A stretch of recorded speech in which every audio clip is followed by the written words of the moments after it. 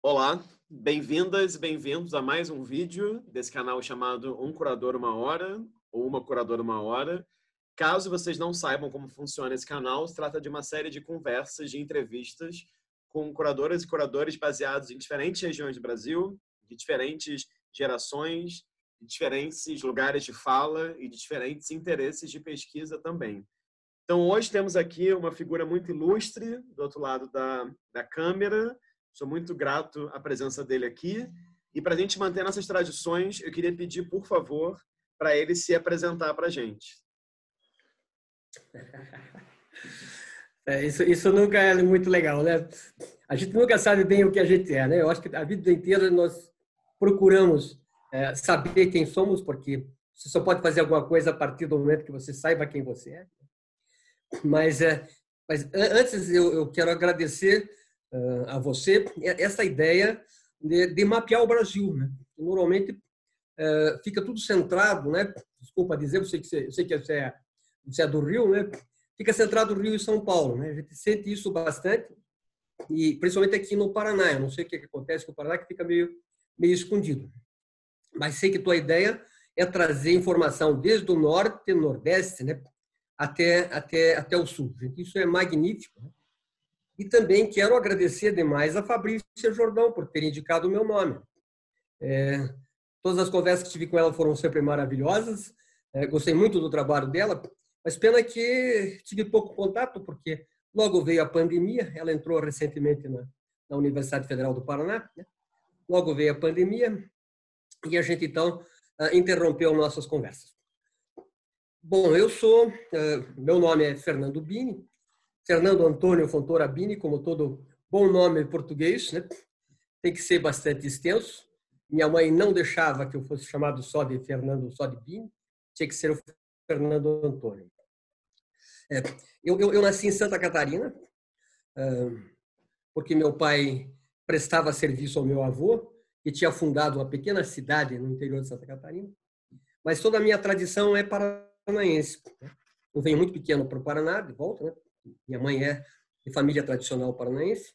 E, então, toda a minha obra, né, praticamente se faz, se faz aqui, é, é, o que eu defendo muito, né, é a arte, arte do Paraná, que é a que eu melhor conheço. Né?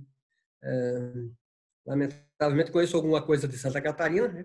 Bom, e aí no envolvimento de toda a arte brasileira. Eu me formei em pintura, inicialmente é, quis trabalhar com pintura, mas junto com a pintura, nos meus estágios, eu sempre me encaminhei assim para a teoria. É, a gente sempre tem uma dívida enorme com todos aqueles que nos precederam. Né? Então, dentro desses meus estágios, eu, eu vi algumas coisas muito importantes é, de pesquisa. Trabalhei com o patrimônio histórico, e bom, comecei uma carreira de pintor, mas fui meio que encaminhado, né? A gente nunca escolhe bem as coisas que vai fazer, né? Você vai sendo conduzido. É, eu não esperava jamais dar aulas. Eu queria trabalhar em gabinete, pesquisa. Né? Esse é meu estágio com patrimônio histórico é, me dava a chance de pesquisar, etc mas justamente por pesquisar. E naquela época, nós estávamos trabalhando com ah, as igrejas barrocas aqui do sul do Brasil. Ah, esse é meu, o meu chefe, que era o professor Ciro Corrêa de Oliveira Lira, pede que eu o substitua em umas aulas, que ele, porque ele ia fazer uma residência na Itália, e eu fui substituído durante seis meses e gostei. Né? E daí resolvi fazer ah, as disciplinas pedagógicas e hoje eu posso me considerar realmente um professor, né? É o que eu, o que eu faço. É, como eu comecei a dar aula em cursos de arte, é, muitos dos alunos é, iam fazer exposições e não tinham quem fizesse a apresentação, nem que fizesse. Naquela época, né? Falando aí dos anos 70, né?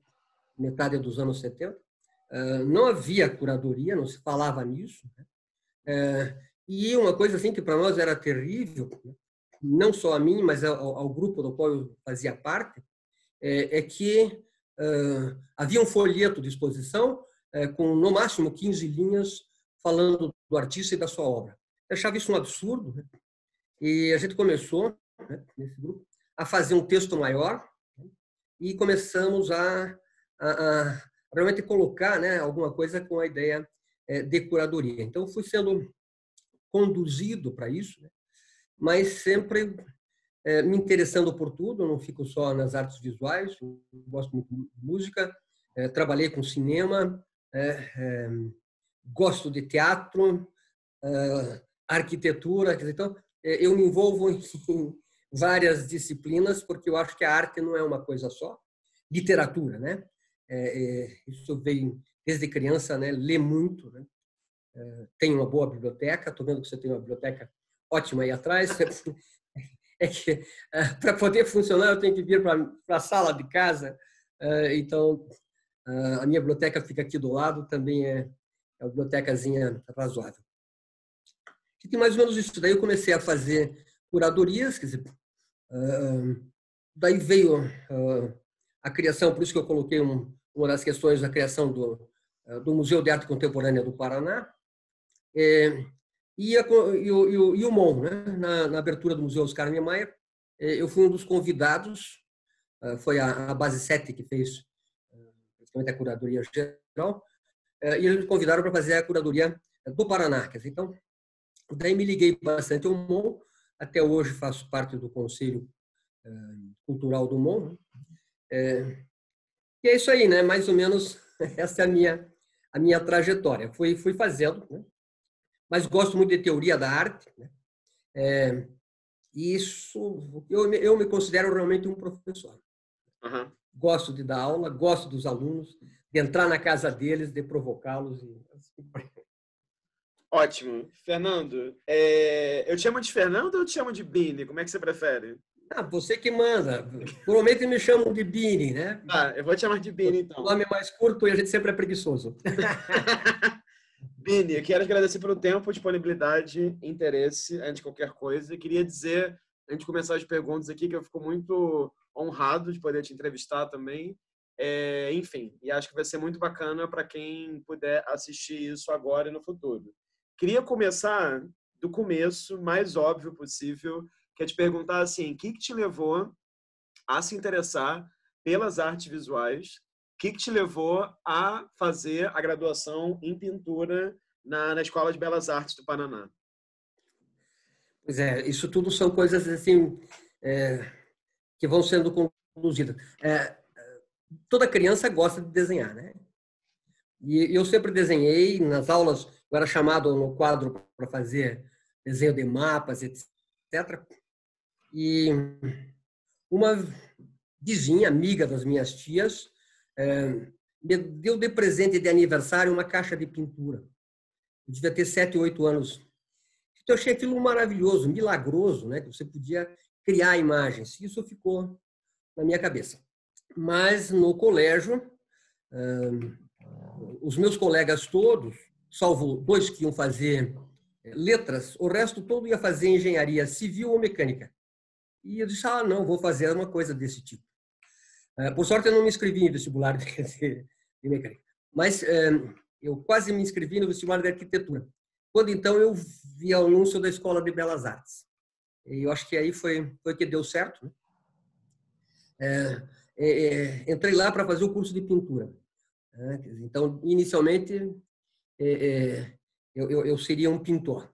Mas eu começo a fazer estágio desde o primeiro período, desde o primeiro semestre do primeiro período uh, em escritório de arquitetura, escritório de engenharia, uh, em gráfica, é, agência de publicidade, e assim eu fui, eu fui eh, olhando praticamente tudo o que tinha. Né? Então, uh, achei que a, que, a, que, a, que, a, que a arte era alguma coisa muito mais abrangente e comecei a me dedicar mais ao estudo de história da arte, o que me agradava mais na escola. Não era tanto pintar, né? pintura era, era um exercício uh, que eu achava que devia fazer para poder entender aquilo que eu estava estudando teoricamente. Né? E aí eu me dediquei à história da arte inicialmente. Uhum, uhum. E como é que foi seu seu percurso como artista? Porque tem uma entrevista sua no YouTube, uma entrevista longa de Memória do Paraná.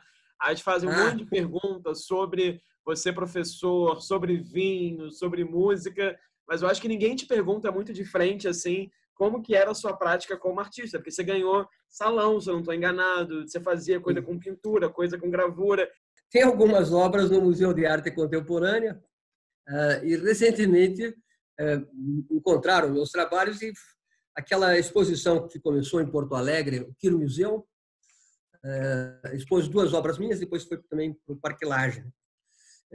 É, veja, eu vou ser bastante entusiasmado pela, pelo momento pop, a, a, influência da arte pop e trabalhar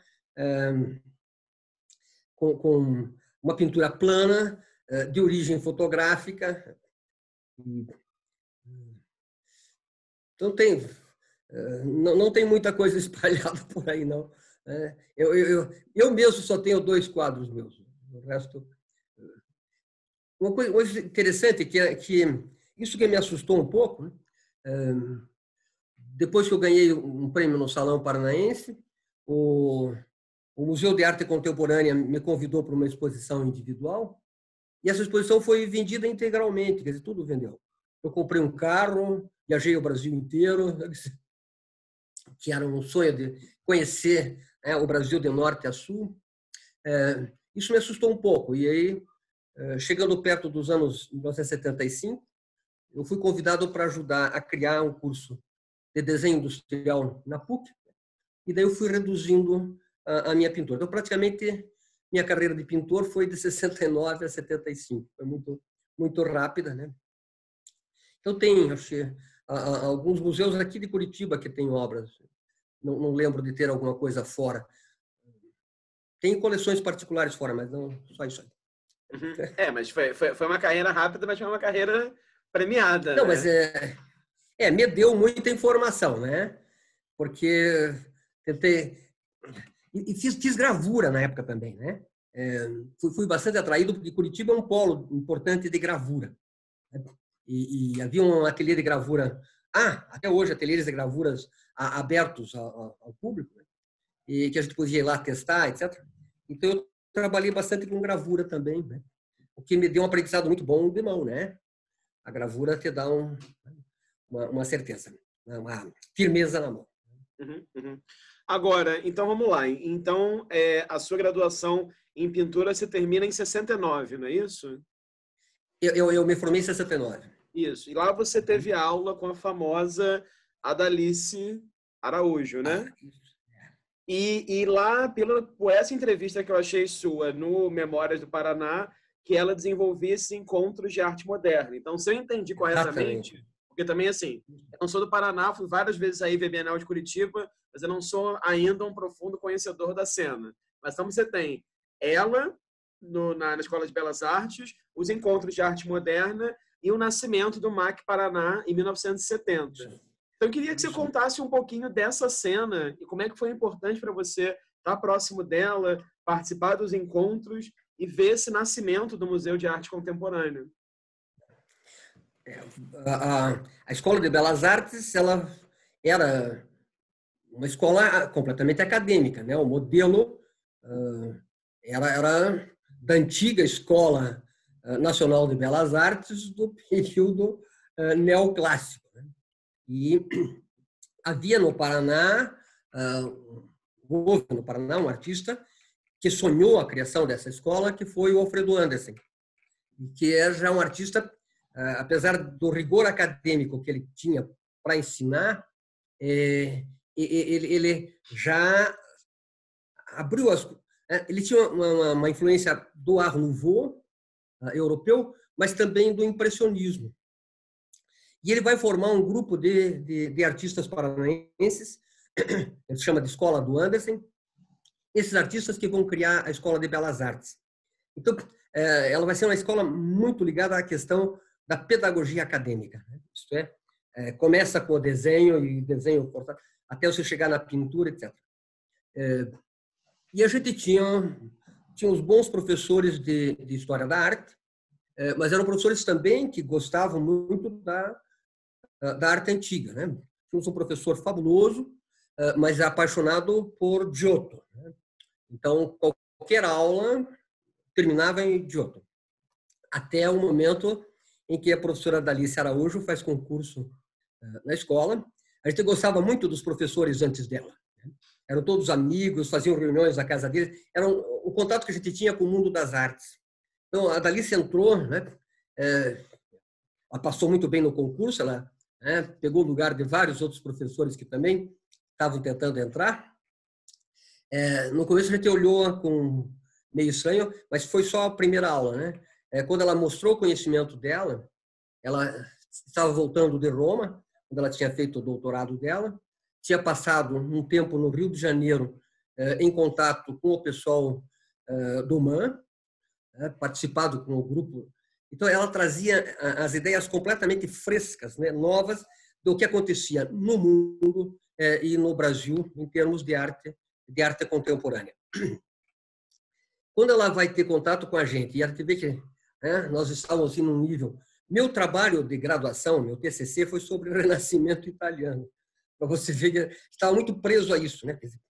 Então, ela, ela resolveu quebrar isso junto com o, o diretório acadêmico, do qual eu também fazia parte, é, ela deu uma ideia da gente fazer é, essas reuniões. A ideia inicial foi dela e do professor Ivens Fontoura, é, de fazer esses encontros. Né? A ideia do encontro é o seguinte: primeiro, tomar consciência do que está acontecendo no Brasil, né, em termos de arte contemporânea, arte moderna e contemporânea. O primeiro encontro foi sobre arte moderna né? porque a nossa informação até sobre arte moderna era muito básica. Uh, e depois, então, né, uh, muito sobre arte contemporânea. A ideia de que uma primeira semana né, viessem professores de fora, todos eles né, mais ou menos escolhidos pela, pela, pela Dalice, alguma sugestão da gente que tinha ouvido falar alguma coisa, e uma segunda semana interna que a gente ia deglutir essa discussão e ver o que, era válido para nós. Foi, foi um, um, um modelo né, é, interessantíssimo em termos de, de discussão. É, começou isso em 69, né, é, foi o primeiro encontro, e dos grandes encontros foi até 76. Depois ele começou a, a mudar um pouco, né? e foi perdendo aquela força. Né? Mas esses primeiros encontros realmente é, trouxeram para Curitiba é, toda a ideia de, de, arte contemporânea, ao mesmo tempo que é, nos fez conhecer é, tudo que se fazia é, no Brasil né? e, e, no exterior. Né? Então, pessoas como o Frederico de Moraes, o Roberto Pontual, né? cada ano era escolhido um curador é, que coordenava os trabalhos. Né? A coordenação central seria a da Alice Ivens, e eles escolhiam daí alguém que organizava esse conjunto de palestras e, de cursos, né? Até se chegar a alguns auges, né? Como o caso é, do, do, sexto encontro de 74, né? Que tomou conta da cidade inteira, né? a ideia de, de, de, arte pública. Então foi é, foi praticamente o nosso contato né? é, da escola com uma outra realidade, né? é, com tudo que você fazia de novo. E eu acho que é o momento. É, a entrada do Paraná na, na arte contemporânea, que se dá mais ou menos entre é, 68 e 69, né? Vai ter nos encontros em 69 ah, o, seu, o seu auge. Né? Nessa sequência, já havia toda essa, essa batalha, essa ideia é, de, é, de, de um museu de arte contemporânea, um museu, um museu de arte. Inicialmente, a, a, ideia era criar uma pinacoteca do Estado né, para reunir toda a obra que estava separada, dividida nas secretarias, etc. houve né, a criação de um museu, mas que não é, o Museu de, de Arte do Paraná, que vai só retornar muito tempo depois, mas que não, não, não teve muito efeito, até quando, aproveitando né, um momento político meio favorável, que a gente tem um problema aqui no Paraná que uh, os políticos não se interessam muito pela, uh, pela arte. A gente tem batalhas, mesmo homens bastante cultos, né? Você vê que tem, tem uma formação importante, a questão política sempre ultrapassa, é, é, vai, vai acima de tudo. E aí, né, um grupo liderado pelo, pelo Fernando Veloso, que é um importante artista aqui do Paraná, um que foi chefe né, de, do grupo do movimento moderno, pôs isso na, na, na cabeça, participava da, Associação dos Museus do Brasil, Museus de Arte do Brasil, era muito amigo do Walter Zanini. Então, com a ajuda do Walter Zanini, ele né, estrutura o museu e consegue aprovação pelo governo do estado, mas não tinha sede. Né? E aí ele teve que, então, ah, até dizem por brincadeira que eles entraram com o pé na porta, né? numa, numa, numa, num prédio do Estado que estava desativado, e assim começou o, o, museu. E o museu vai imediatamente abrigar né, os encontros de arte moderna. Né? Quer dizer, uh, até aquele momento, os encontros de arte moderna eram feitos pelo, pelo centro acadêmico, isto é, a gente fazia toda uma campanha para arrecadar fundos, né? não se tinha dinheiro, o centro acadêmico era, era pobre, então a gente pegava os nossos trabalhos de aula, de pintura, e, e saíamos, por exemplo, pegávamos um prédio, né? íamos batendo de porta em porta, de consultório médico, consultório de dentista ou escritório de, de, de direito, engenharia, e mostrava, olha, fica bom esse quadro aqui, etc. A gente acabava vendendo por preços bastante os nossos próprios trabalhos. Com isso, a gente arrecadava um dinheiro para fazer os primeiros encontros. É, mas logo que o museu surgiu, aí vem né, uma possibilidade de que o Estado pagava ah, as passagens e as hospedagens desses artistas, então a coisa ficou mais fácil. Né? Então, um trabalho assim, excelente do, do Fernando Veloso, né, que tinha uma visão né, de uma geração bem anterior à nossa, né, mas que tinha uma visão bastante grande de arte, mesmo que ele não gostasse, ele promovia né, debates e então assim é que se uniu as duas coisas, né? Esses encontros de arte moderna e o apoio do, do Museu de Arte Contemporânea do Paraná. Aí a coisa foi para frente, né? Daí tivemos grandes encontros, grandes personalidades que vinham aqui e mesmo a possibilidade de nós conhecermos né, o que se fazia no Paraná. Né, porque haviam grandes trabalhos né, feitos aqui que praticamente estavam escondidos. Né? Grandes intelectuais, lembra-se que o Paulo Leminski morava em Curitiba, né? era, era, era curitibano, e é, não, não, se aproveitava o Leminski. Né? Eu tive sorte de, num dos meus estágios, numa agência de publicidade, é, trabalhar na mesma sala da Alice Ruiz, né, esposa dele. Daí, então, a partir daí, eu conheci o, o, o Leminski. Mas a, a, os encontros de arte moderna trouxeram o Leminski para polemizar completamente. E, e assim, assim, eu acho Bom, daí vem, vem, é, não fica só nos encontros, não fica só no museu, mas é, nós vamos ter a presença em, em, em Curitiba, nesse período, né, anos 70, do Reinaldo Jardim, o poeta concreto, né, que vem para cá é, como diretor do Diário do Paraná. E aí ele vai transformar esse jornal e vai começar a trazer esse pessoal todo, né, Leminski, é, Retamoso, é, todo essa, esse pessoal ligado mais à, à, à publicidade e ao jornalismo, né, para, para o jornal. E aí, né, praticamente, nós vamos ter um momento assim importantíssimo né? entre os anos 70 e os anos 80 né? da, da, cultura paranaense. Aí há uma, há uma explosão. Uhum. Aí vai ser a possibilidade de a gente se mostrar para o mundo. Depois retrai de novo. Já que eu falei do Leminski, né? O, o, o Leminski tem uma expressão que eu gosto de usar. É, por que, que a gente não sai daqui? Porque pinheiro não se transplanta. Né? Pinheiro tem a raiz muito profunda fica todo mundo parado, né? Essa é uma grande questão. Gente, isso é uma coisa que eu queria te agradecer, né? Porque durante um bom período da minha história, eu viajei por toda parte, escola, universidade, para fazer palestra, para tentar mostrar um pouquinho da arte do Paraná. Olha, aqui tem, né? parece que há né, um, um, peso sobre nós. Né? O Carlos Rubens, uma vez, escreveu um livro é, sobre o Alfredo Andersen, o pai é, da, da, pintura paranaense. E lá ele começa dizendo que o Paraná é um desses estados sem arte. Gente, não existe isso, né? Uma ignorância completa. Não se tinha feito nenhum estudo do que tinha acontecido aqui. Nós tivemos, antes do Anderson, uma escola de belas artes e indústria, né? um modelo de escola eh, de vanguarda, né? que tenta, tentava usar né? todo, o ensino acadêmico, mas aplicado como as escolas de artes e ofícios da Inglaterra. Uhum. Então, teve uma, né? uma pré-história, uma história anterior ao Anderson, que não foi que não foi vista. A verdade é que o Anderson veio para cá e profissionalizou o, o, o, artista. Então, eu acho que essa essa, essa ideia do, do, Carlos Rubens é que não, isso nos assustava um pouco, né? Quer dizer, como que não tem arte, né?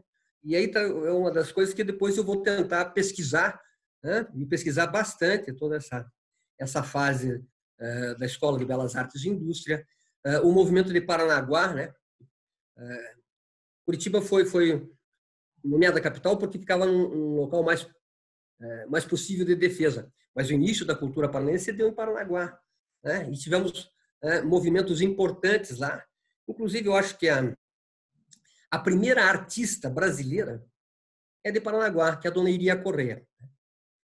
Então, tem, tem uma história aí, né, que, que eu acho que era importante a gente fazer o levantamento e que você está me dando a chance de, de fazer um pouco disso. Nada, não, eu que agradeço, porque é uma forma não só minha, né, alguém do sudeste do Rio, aprender sobre, mas qualquer pessoa no futuro que possa ver esse vídeo também. E como é que foi sua entrada na Universidade Federal do Paraná? Foi em 79, não foi? Foi. Aí, aí, aí foi, foi um pouquinho mais complicado, né? Porque sabe que todos nós que estávamos eh, na universidade durante o período militar, a, a gente lutou contra. Né? E eu, eu tinha uma ficha bem sujinha, né? Com relação ao, ao DOPS. Fui julgar, tá bom. Todo caso, então, para entrar na federal, eu não pude entrar em 75 também, né? Aí a, a eu, eu mesmo evitava, né, para não para não gerar mais complicações na minha vida. Mas uh, um, um, amigo que um grande amigo que vai ser eh, secretário eh, de segurança pública aqui no Paraná falou, inclusive uma, qualquer coisa, uma reunião aqui em casa, que era possível eu pedir silêncio, isto é, para que essas informações da minha ficha desaparecessem, não, né? Fossem colocadas lá no final. E com isso eu abri a possibilidade e daí eu fiz o concurso para federal. Mas eu também trabalhei um pouco né, junto com a professora Dalice, que foi a criadora dos cursos de arte né, e de design eh, da federal. A gente trocava muita informação. Né? Então lá eu fui para praticamente trabalhar, eh, ser assistente da Dalice. Né? Eu comecei a e acabei ficando com as disciplinas dela quando ela se aposentou. De, de teoria, foi, foi né? Também, e foi principalmente na, nesse período da federal que eu começo a trabalhar também com uh, curadoria e escrever textos, né? entrar para a crítica de arte. Entendi. Porque aí esses alunos queriam expor, né? E daí fizemos coisas assim muito interessantes, porque os alunos eh, muito mais jovens que eu têm uma criatividade imensa, né? E, e, e a possibilidade de a gente fazer. Né? Então, então aí, aí começa o meu o meu trabalho um pouco mais preciso de crítica de arte e curadoria. Entendi. Agora, antes você, antes da gente abrir esse portal do Bini Curador, Crítico de Arte, que é um, que é um portal enorme, eu queria te fazer uma pergunta.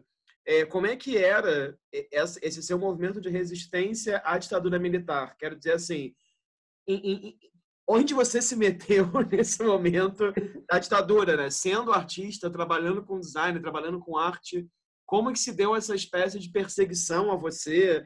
Enfim, você falou que foi julgado, eu não sabia disso. Como é que foi essa? Se você quiser contar também, claro, né? Como é que foi isso? Não, veja, isso foi na época de estudante, né? Eu entrei na universidade em 66, acho. 65, 66. Logo depois do, do, do, do golpe militar, né? É, e, bom, evidentemente que não era... A gente achava que ainda tinha possibilidades, né? já, já enfrentávamos alguma coisa e isso era criticado violentamente. Por exemplo, é, o Hauser. É, é, quando a Alice nos fala do Hauser, e a gente vai procurar na biblioteca pública, realmente o nome do Hauser estava no fichário, mas não estava na estante. O livro tinha sido retirado porque né, as forças do, da ordem não deixavam. Você vai negociar com um livreiro uh, que era do Partido Comunista, etc., e ele vai nos conseguir né, uma edição espanhola do Hauser. Tá? Bom, isso vai começar a criar problemas dentro da escola.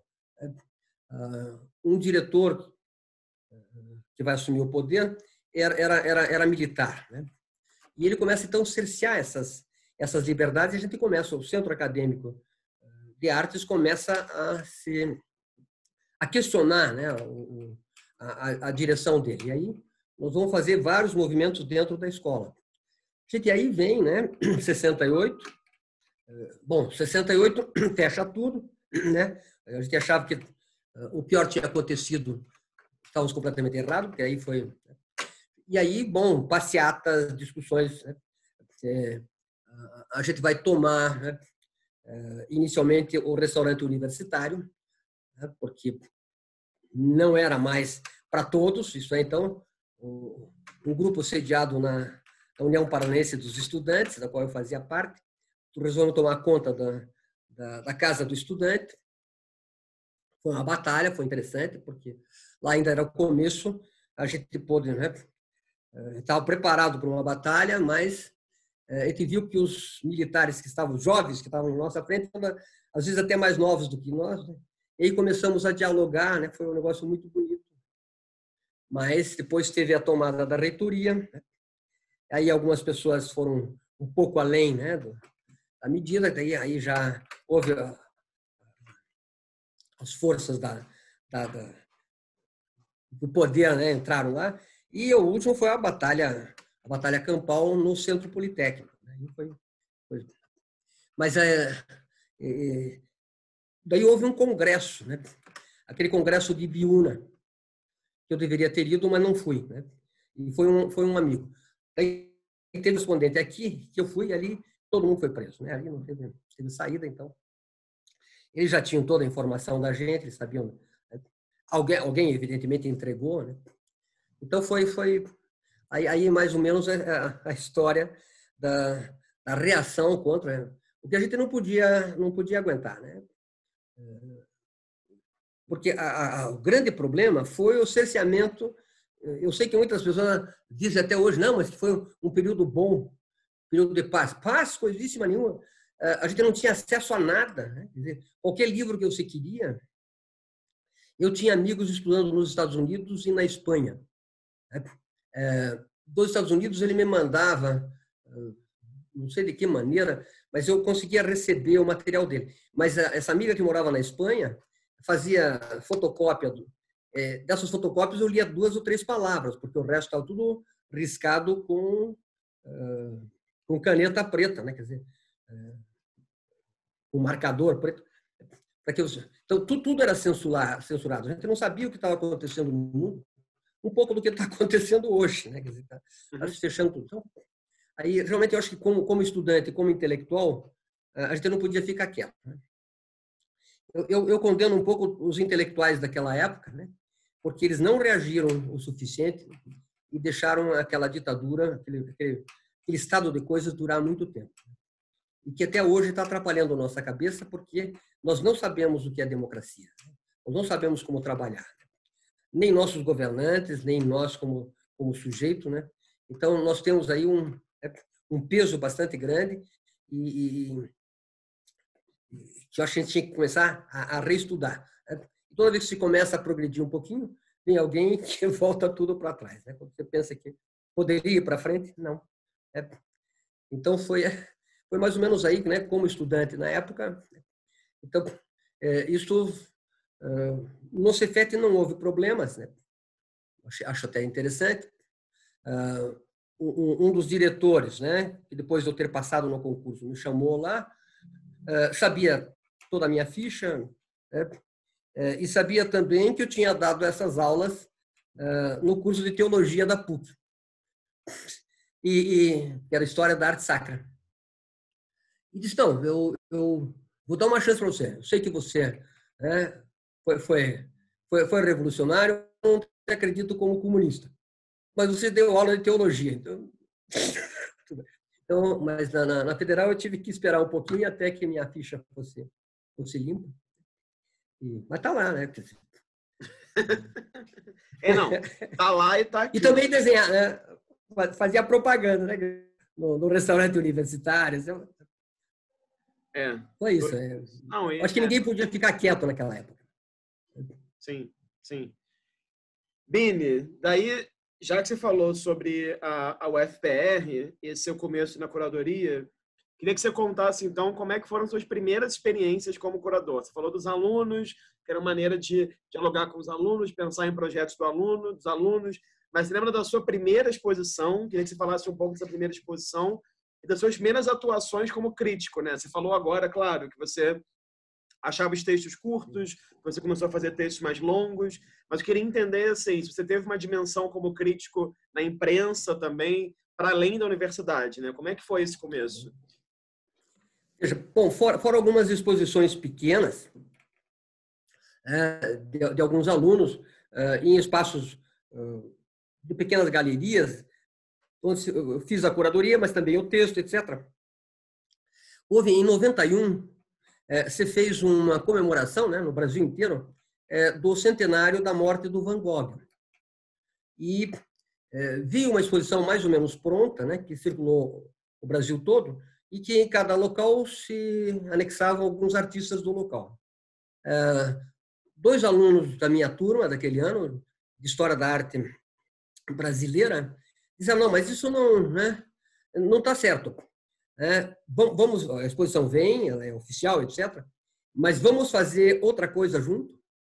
E, e aí gente é, surgiu a ideia de fazer um grande evento né, via a Universidade Federal do Paraná, é, unir teatro, música, artes visuais, é, homenageando o Van Gogh e com a participação dos alunos é, não só ah, obras de artistas que tivessem alguma ligação com o Van Gogh, pela cor, pela forma, etc., que fosse anexado à exposição, mas houve, né, é, e a gente conseguiu, como a, a, a, a exposição estava muito próxima da Federal, né, o pessoal da Federal estavam é, ligados à, à, organização dessa exposição, a gente conseguiu que esse evento, né, e aí realmente né, tivemos que produzir textos, né, foi feito eh, uma exposição completamente nova.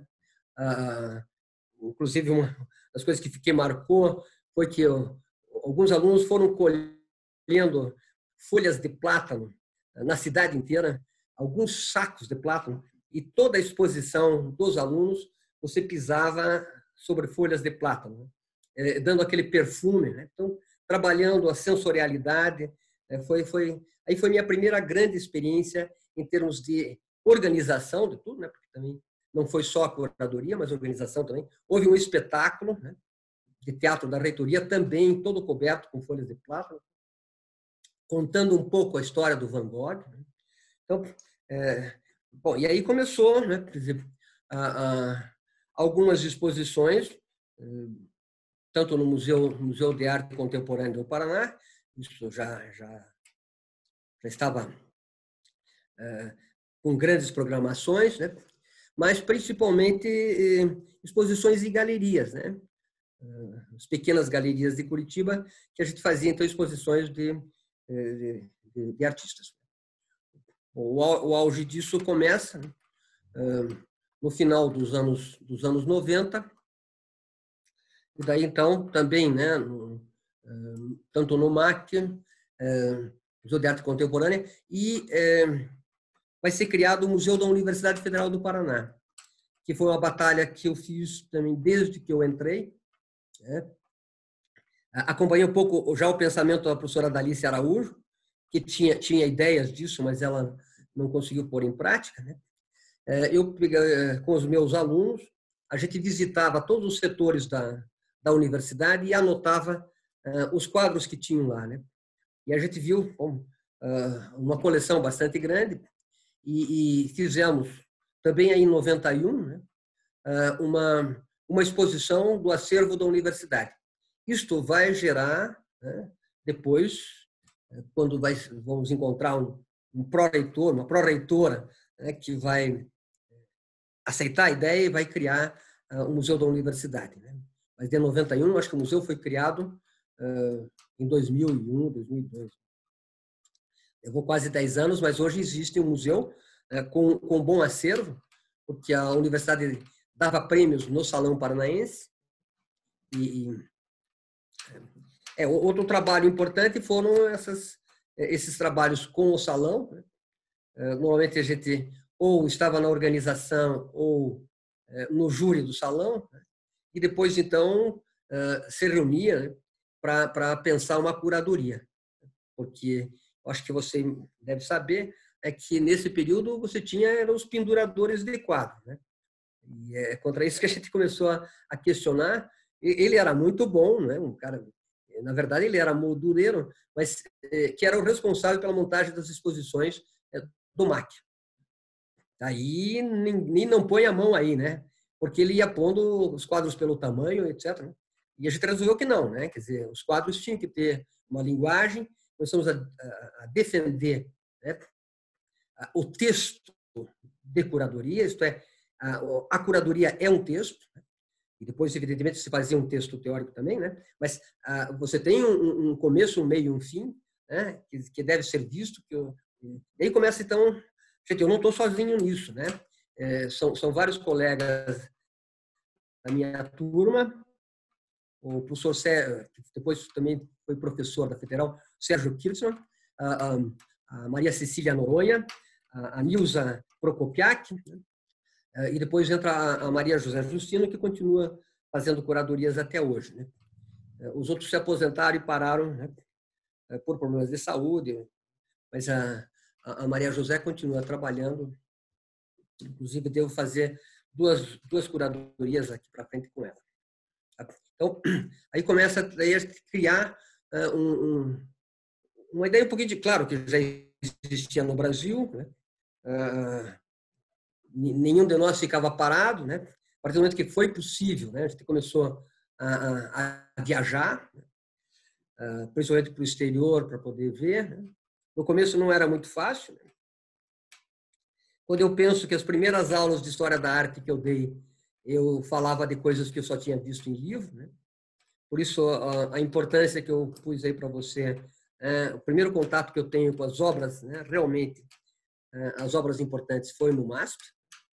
E, e, e, aí me chamou a atenção, eu posso fazer alguma coisa diferente, né? Quando eu vi a expografia da, da Lina Bobardi, né? é, que, que, era, que era muito diferente você poder falar de uma obra uh, que você tinha visto do que uma obra que você viu simplesmente numa, numa folhinha de papel. Né? Uhum. Primeira vez que eu fui ao Louvre, eu sentei e chorei. Né? Porque ah, eu falei mais de 10 anos sobre isso aqui e agora eu estou na frente né, da, da batalha de, de Sion, né, do, do, do Delacroix. Né? Isso, uhum. isso é, impressionante esse quadro. Uhum, uhum. Deixa eu fazer uma pergunta muito óbvia, mas eu acho que é importante perguntar pela sua experiência que você teve. É, são duas perguntas. A primeira é que você falasse um pouco quais nomes importantes fazem parte da coleção do Musa, do Museu Universitário. E a segunda pergunta, essa sim é a pergunta óbvia, qual que é a importância do Salão Paranaense? Né? Assim, que, que o Salão Paranaense contribui com a constituição da cena da arte contemporânea, não só no Paraná, mas no Brasil. Veja, a, a, a grande questão nossa é esse é, a, pouca visibilidade que a arte paranaense tem. Né? É, então, o, o Musa, é, quando ele foi criado, ele foi criado como laboratório. Eu, por exemplo, utilizei o Musa uh, durante quatro ou cinco anos seguidos. Né? As minhas turmas de, de, de último período tinham que pensar e montar uma exposição muda. Tá? Isso é, eles pensavam o que queriam, né? Eu orientava, mas eles iam fazer curadoria, eles iam fazer texto de parede, eles iam fazer moldura, eles iam fazer iluminação, praticamente tudo era feito por uma, é, por uma, por uma turma. E, além do mais, é, nós começávamos esse trabalho com uma visita à reserva técnica do MUSA. Né? Isso é para eles conhecerem arte paranaense, porque nem sequer os alunos né, da Universidade do Paraná conheciam a arte paranaense. Tem que, né, por exemplo, a primeira exposição que foi feita é, foi, foi, é, foi centrada no suporte de obra de arte. Por quê? Nós temos um artista aqui de Curitiba, é, que é o Antônio Arnei, que já teve sala especial na Bienal de São Paulo e é completamente desconhecido até hoje. Ele trabalhou o suporte, ele fez parte do grupo de artistas modernos, que começaram com a arte abstrata aqui no Paraná. Portanto, ele tem uma abstração, ele faz um, um trabalho abstrato.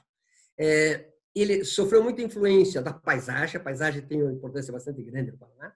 O quadro dele lembra uma paisagem, mas ele faz isso com madeira. Madeira, parafuso, papel colado, papel pintado, etc. Quer dizer, é, é algo... É, tem a ideia da janela, né? a janela do Alberti ainda está ali, mas é alguma coisa completamente nova, na qual ele vai trabalhar sobre esse suporte. De... Então, isso deu a ideia de se juntar as obras que trabalharam com suportes os mais diferentes possíveis. Né?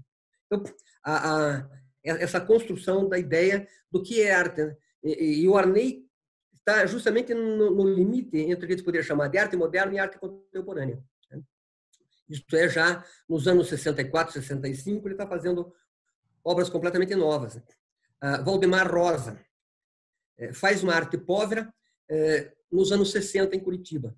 Né? E até hoje praticamente desconhecido.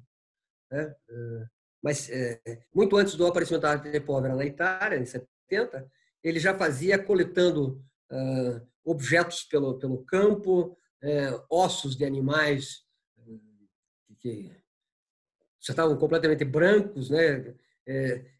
Areia de, do mar. Ele ia misturando isso e fazendo composições que lembram uma paisagem, mas fazendo uma paisagem com o próprio elemento da paisagem. Então, há algumas discussões né, é, que, que foram importantes.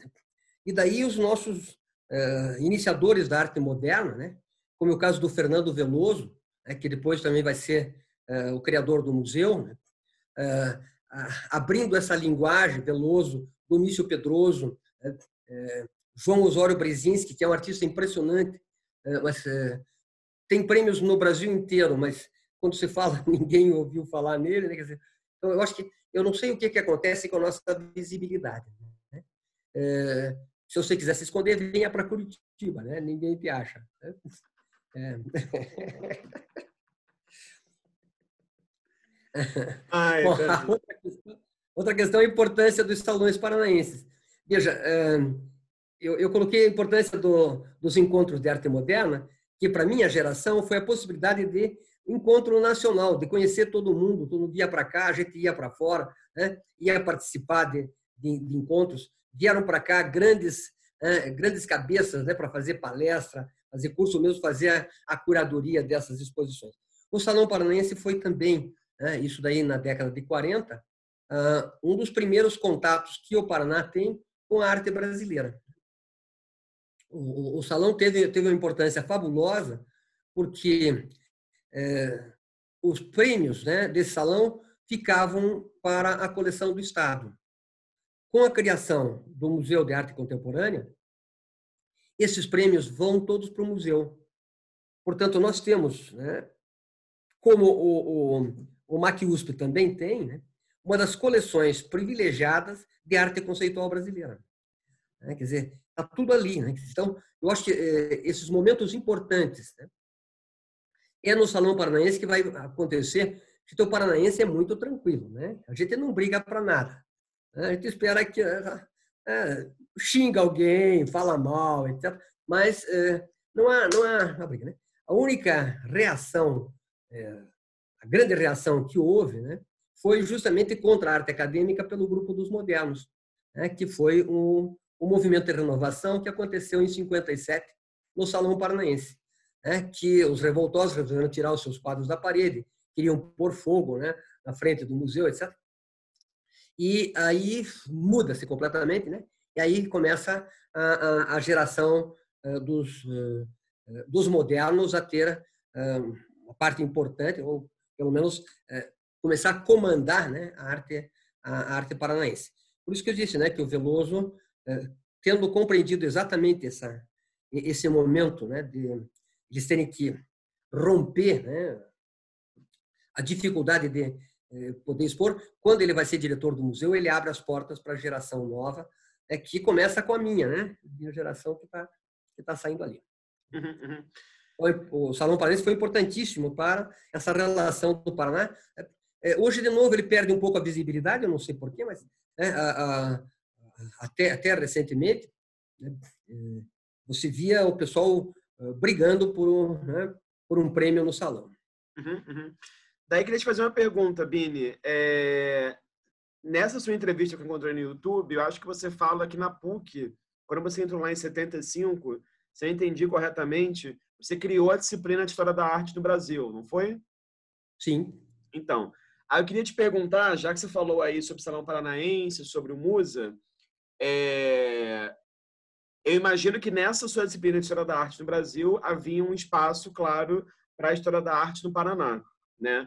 Então, eu queria te perguntar assim, quando que veio o seu desejo, digamos assim, o seu empenho, a sua missão, digamos assim, de pensar a história da arte no Paraná, não só como professor, e, mas também como escritor e também como curador? Porque quando você mandou seu currículo, né, a gente olha o seu Lattes, é muito impressionante porque são muitos projetos que dizem respeito a uma a tentativa assim, de documentar, de falar, de argumentar sobre a produção de arte no Estado. E o seu doutorado, se eu entendi corretamente, foi também sobre a produção de arte contemporânea no Paraná.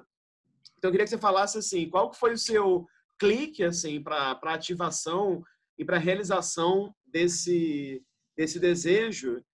É, e também queria te perguntar um pouquinho sobre esses limites que a gente sabe que muitas vezes são fictícios, né, entre o que é a arte moderna no Paraná e o que é a arte contemporânea no Paraná, né? Como que você enxerga onde um começa e outro acaba, entendeu? Bom, a, a, na ideia da, da, da, história da arte brasileira, a gente dividiu em dois, em dois anos a história da arte brasileira. É, uma convencional e a, a segunda arte brasileira, a história da arte brasileira 2, era trabalhar com o Paraná, mas em relação à América do Sul. Para a gente não esquecer o panorama pan-americano, que também interfere na, na arte. Né? Se você for ver uh, qual, qual, é o diferencial, né? eu pensei que a pergunta que fosse fazer, como é que você delimita o que é paranaense? Nós não temos esse limite. Né? Quer dizer, paranaense o que é feito no Paraná, não tem uma linguagem específica de arte paranaense. O que nós temos né, é uma relação bastante grande principalmente com o Paraguai né, e com, com a Argentina, né, que são o, o, os, os, países que estão é, no nosso limite.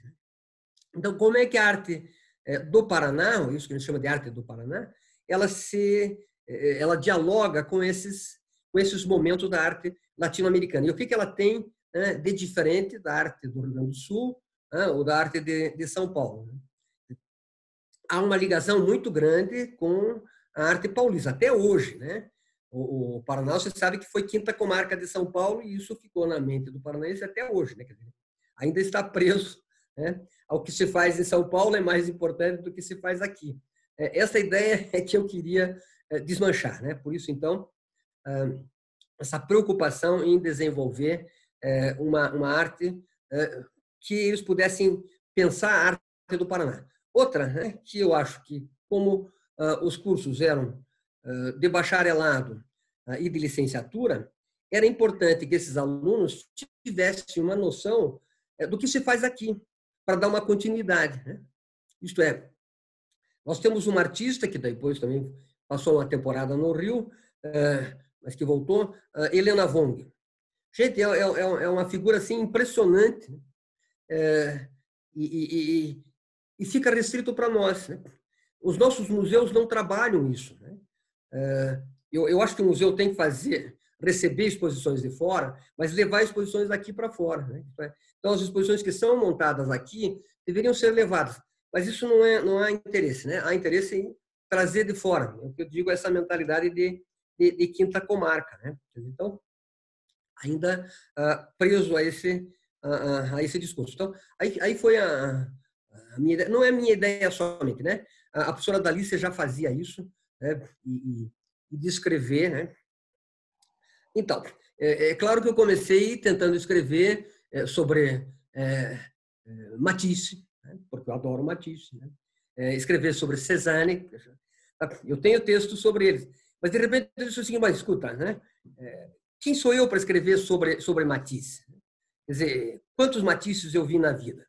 hoje eu posso dizer que eu vi bastante, mas na época que comecei a escrever sobre Matisse, o máximo que eu tinha visto era aquele caderno de aquarelas dele, né? de, de, ah, de, de litografias dele, né? e seis quadros entre os que estão no, no MASP. Quer dizer, como é que eu posso fazer né, um discurso sobre Matisse que seja um discurso original? E não tinha nada até aquele momento, a não ser os escritos da Dalice, né, no jornal, sobre a arte paranaense.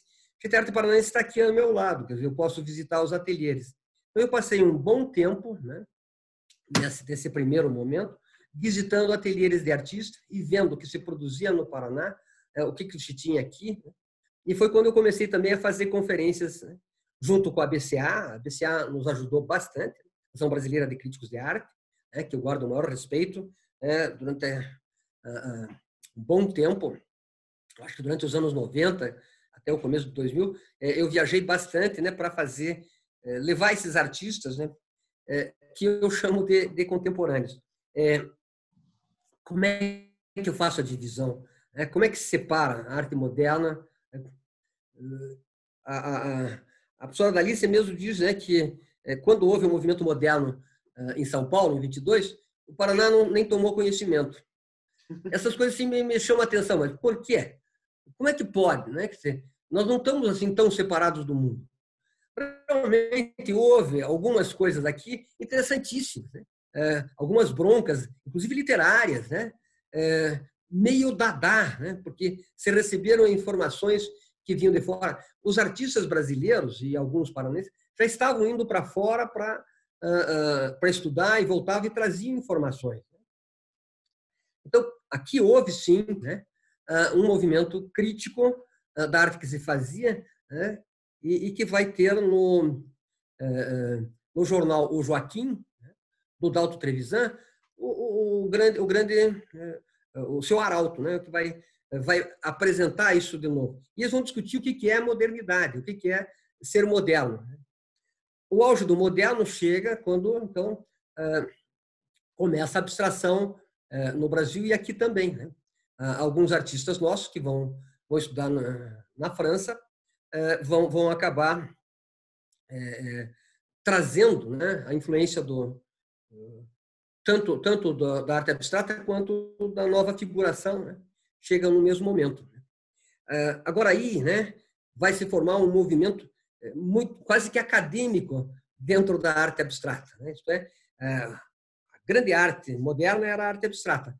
Aí chegam essas gerações né, do, dos anos 70 que querem romper com isso. Né?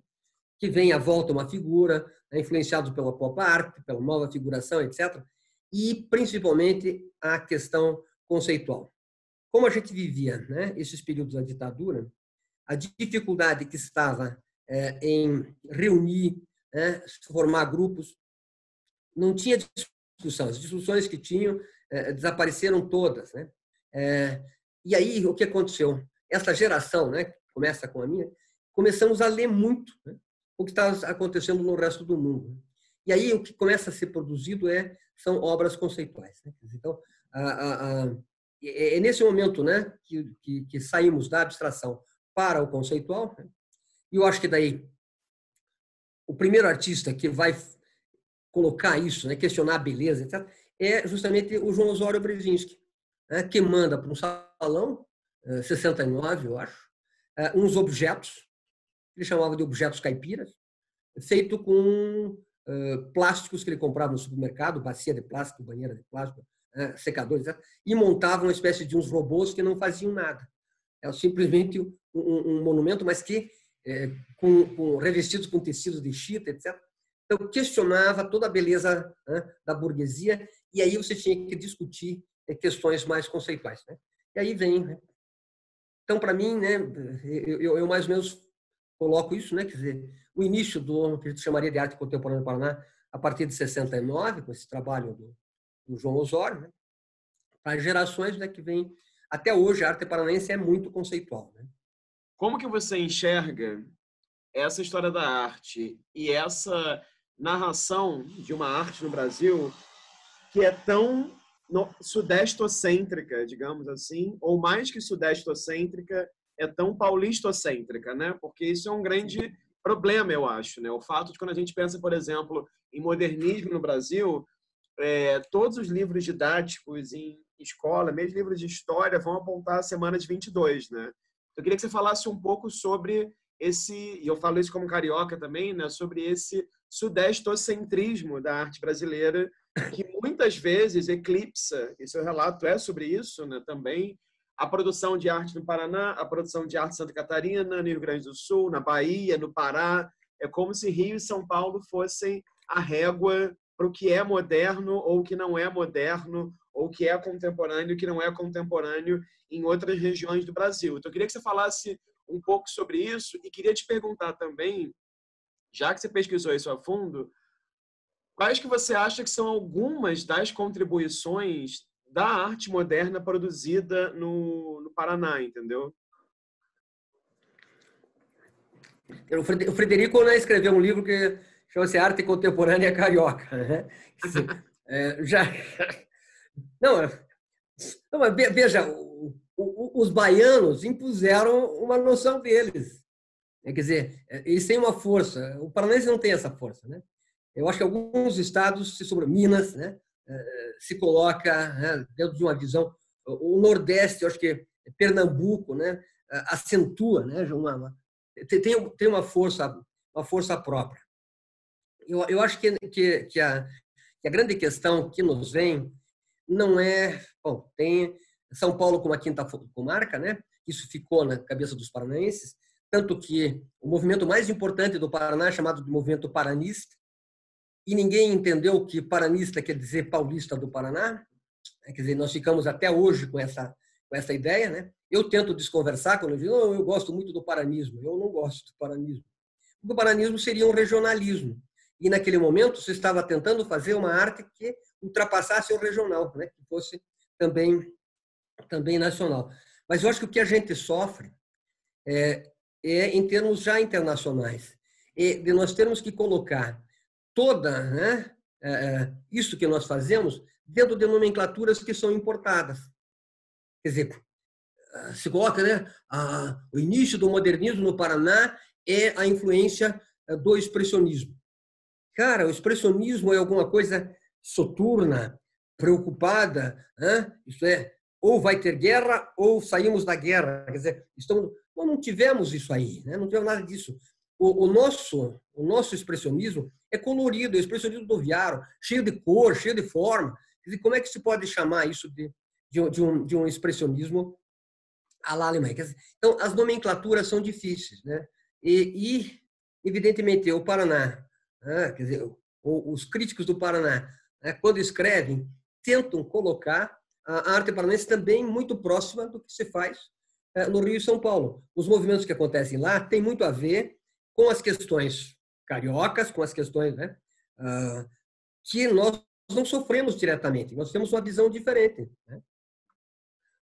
Recentemente que o estado do Paraná se, se industrializou, mas ah, essa visão agrícola do estado, como é que ela não aparece na nossa arte? Né? Grandes planos, Quer dizer, eu acho que tem, né? Por isso que eu gosto demais da pintura do Fernando Veloso, porque ela traz essa questão, né? Quer dizer, é, apesar de que eu não vejo ali formas é, vegetais, né? eu vejo o corpo humano, mas ele, ele faz uma relação com né, a, a, vegetação, com os grandes espaços.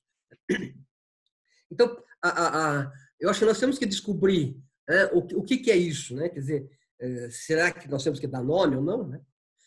Então, mas há, há essa essa fixação né, de que quem dá a, a, a, a ordem, quem dá né, a direção é Rio ou São Paulo.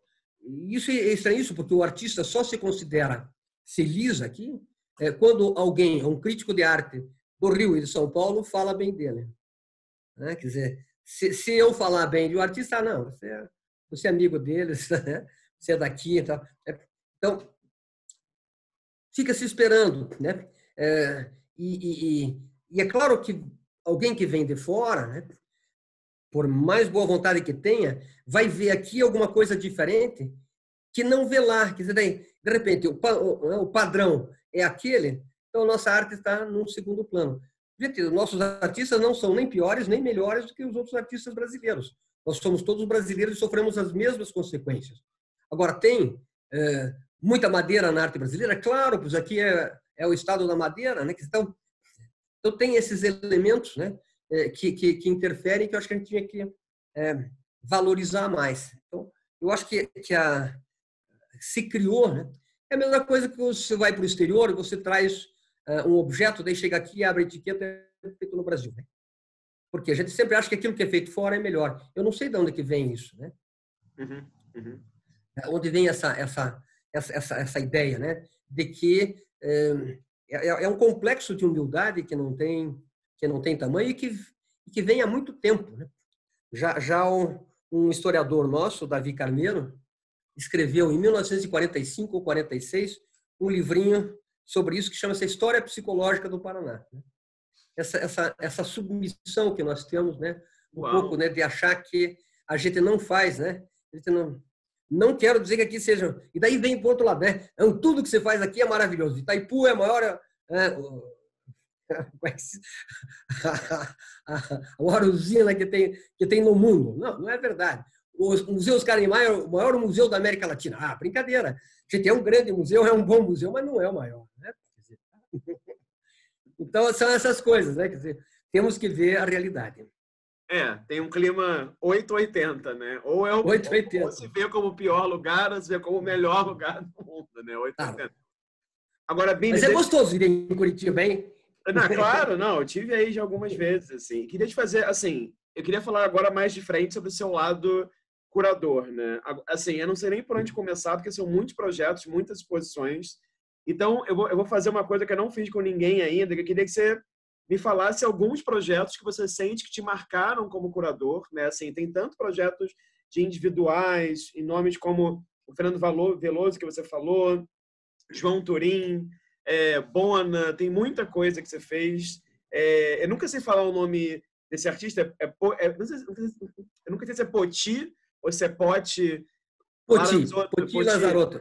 Lazarotto, isso, desculpa, Poti Lazarotto. Então, eu queria que você pensasse assim, nessa sua experiência de, né, assim, desde os anos, do começo dos anos 80 aí como curador, ou seja, quatro décadas como curador, mais ou menos, que projetos curatoriais que você sente que te marcaram ou que definiriam um pouco as suas experiências? São projetos individuais? São projetos históricos? São projetos que misturaram arte moderna e arte contemporânea? Enfim, Queria que você falasse um pouco, assim, como é que é o seu processo de concepção de uma exposição, né? Que é, é do espaço para as obras, é das obras para o espaço? Bom, você tem vários, vários caminhos né, para isso. É claro que, é, dentro da pesquisa que eu desenvolvi sobre o Paraná, é, eu acabei conhecendo e, e, me tornando amigo de muitos desses artistas. Né?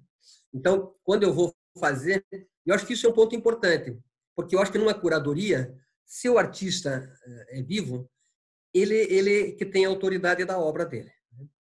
Claro que você tem que orientar, né? É, normalmente o artista quer pôr muita obra, né? É, quer encher a exposição, você tem que orientar que não. Né?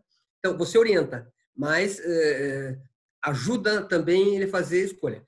Eu tô eu tô fazendo o, o Fernando Veloso fez agora dia 9 de agosto 90 anos. E a gente tinha planejado, e eu consegui que fosse aprovado no Museu Oscar Niemeyer, a exposição dele, que a gente deveria ter aberto agora uh, em agosto, né, para festejar o aniversário. Com a pandemia, a exposição não vai, não saiu, né, estamos esperando só a abertura, né, é, para que isto, isto realmente saia. É, tinha parado a curadoria, começamos de novo agora essa semana, porque o museu disse que está se preparando para abrir. É, então, ele está escolhendo as obras. Né? Depois vamos ver dentro da escolha dele. porque, bom, veja, ele já foi curador, diretor de museu, etc. É, a minha ideia dessa exposição, não deu certo porque o museu não aceitou, mas era uh, a exposição do Veloso com a curadoria dele. Eu ia entrar como assistente de curador, né? Só dou a mão, eu faço o trabalho pesado e você pensa. Né? Mas é, é, é, o que tô, a gente está fazendo. Eu acho que eu acho muito importante, se você tem contato com o artista, com os artistas, que eles eh, também interfiram nessa curadoria, que se converse. Quando eu tenho assistente comigo que estão trabalhando em curadoria, eles também têm que dar a opinião deles. Não sou só eu. Né? O trabalho de curadoria é um trabalho compartilhado. Acho que deve ser visto por outros. E você trabalhar sozinho, você vai cometer erros, porque vai ficar muito a tua, a tua própria ideia.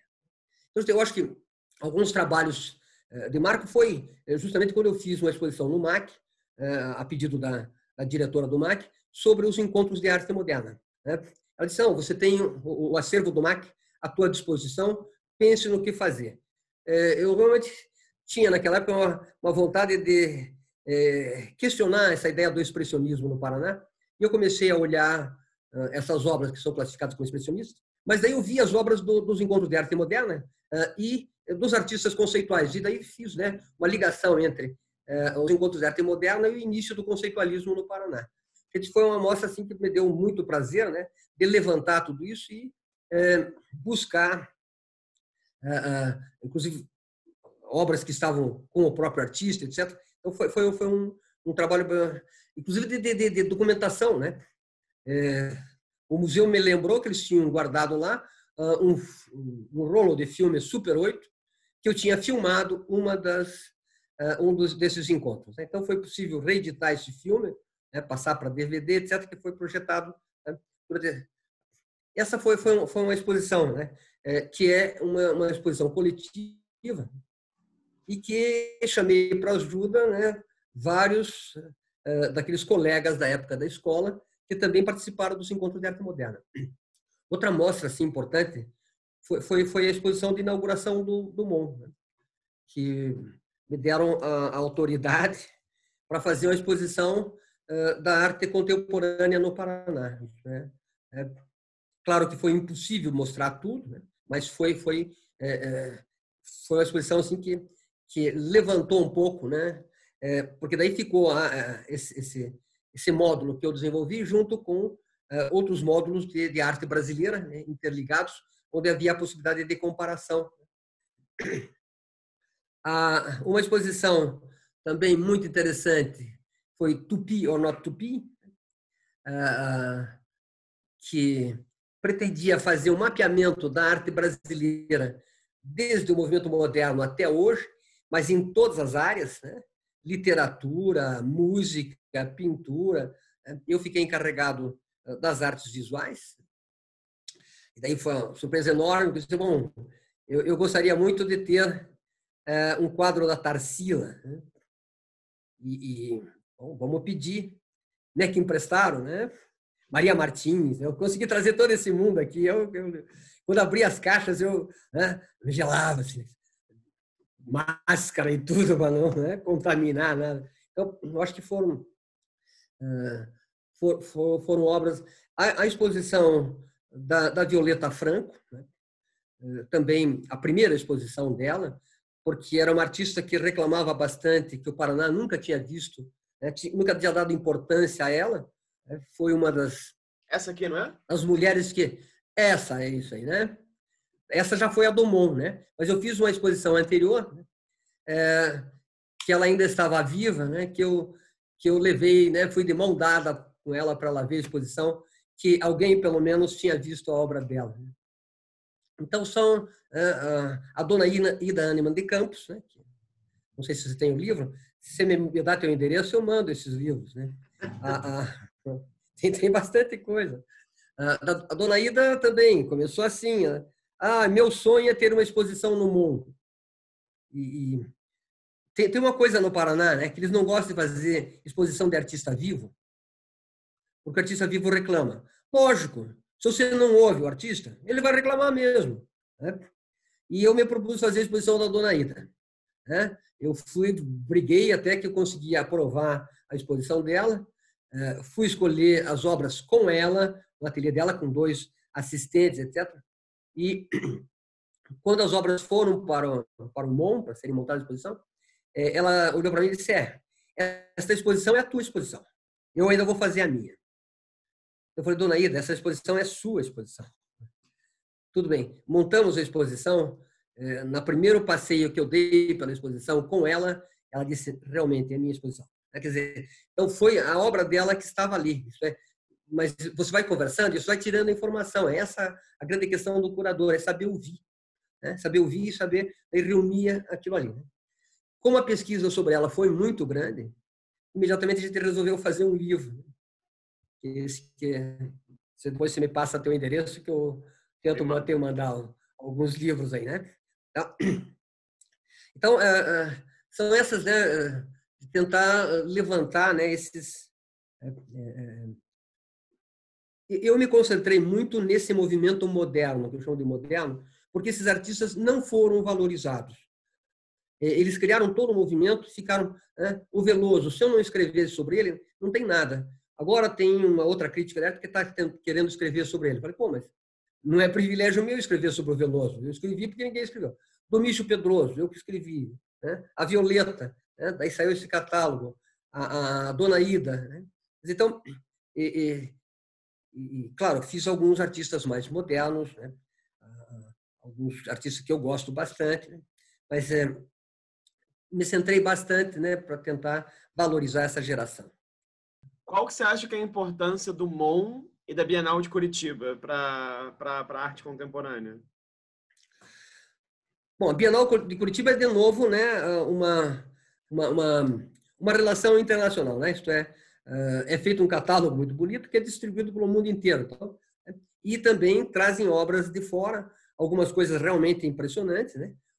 O, o, a, a, me marcou bastante o trabalho do Bill Viola, né, que veio para Curitiba, que foi exposto na Catedral de Curitiba, que era aquele trabalho sobre as três mulheres. Né?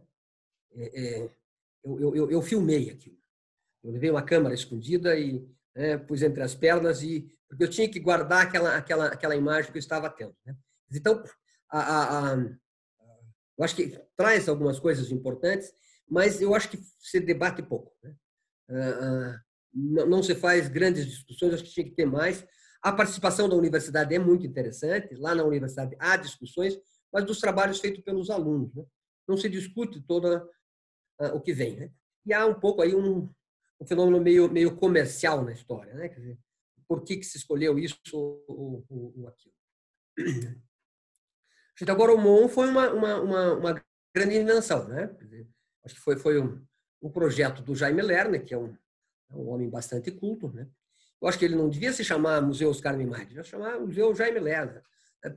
porque foi, foi praticamente o Jaime que, eh, que incentivou. Né? Claro que ele queria eh, reganhar a amizade com, com Oscar Niemeyer, porque o prédio feito pelo Oscar Niemeyer aqui para Curitiba foi totalmente é, modificado, deteriorado. Né?